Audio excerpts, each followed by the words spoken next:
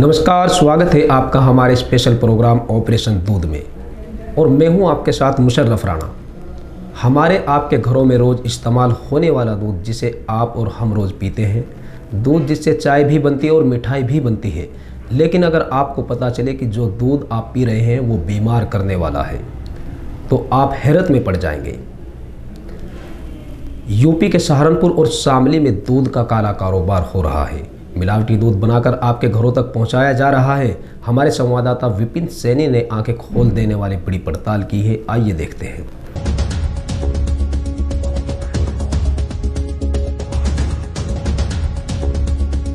मिलावटी दूध से सावधान। दूध के नाम पर बिक रहा सफ़ेद जहर। धड़ल्ले से बिक रहा है मिलावटी दूध। सीएमए न्यूज़ के ऑपरेशन दूध में। बड़ा खुलासा।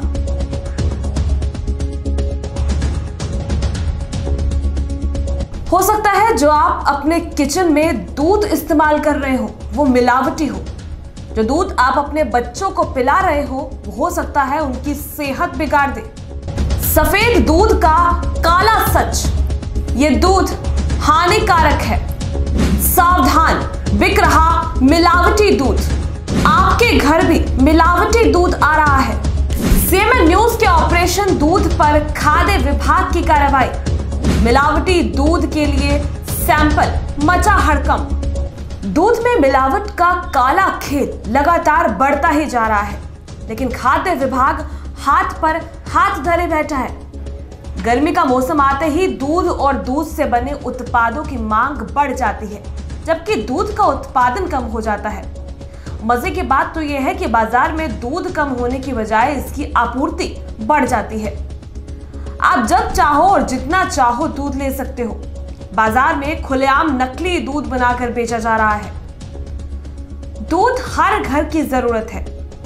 दूध हर कोई पीता है, लेकिन यही दूध जहर बनकर आपके सामने आ रहा है।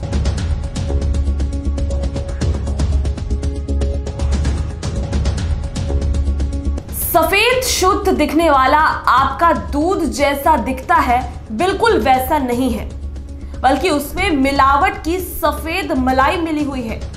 जो दूध आप अपने बच्चों को, उनकी बेहतर सेहत के लिए गिलास भर भर कर पिला रहे हैं, वो दूध उल्टा उनकी सेहत बिगाड़ सकता है। क्योंकि आपके किचन में जो दूध पहुँच रहा है, हो सकता हो वो जहरीला हो।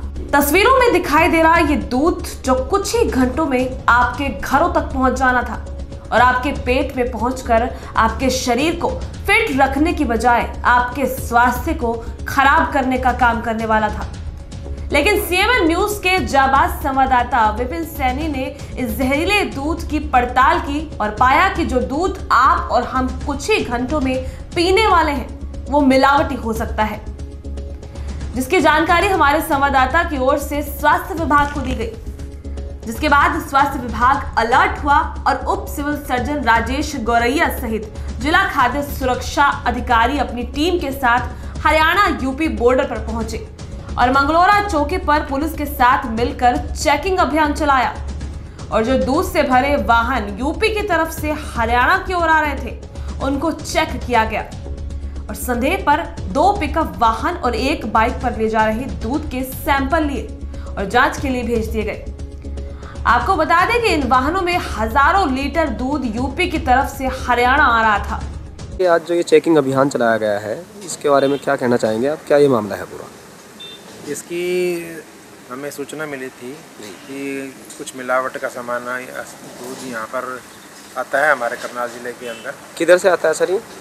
जो सूचना थी कि ये यूपी से आता है जी। मिलावट का दूध होता है तो इसकी ये सूचना के अनुसार सिविल सर्जन के आदेश के अनुसार फिर टीम गठित की गई।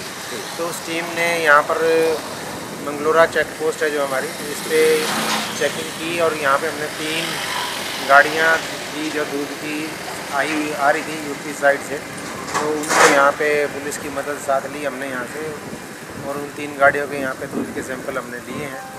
और उसको चेकिंग करने के लिए भी सैंपल भेजते हैं भेजेंगे और सैंपल जो रिपोर्ट आने के बाद फिर उचित कार्रवाई करेंगे। जी जी।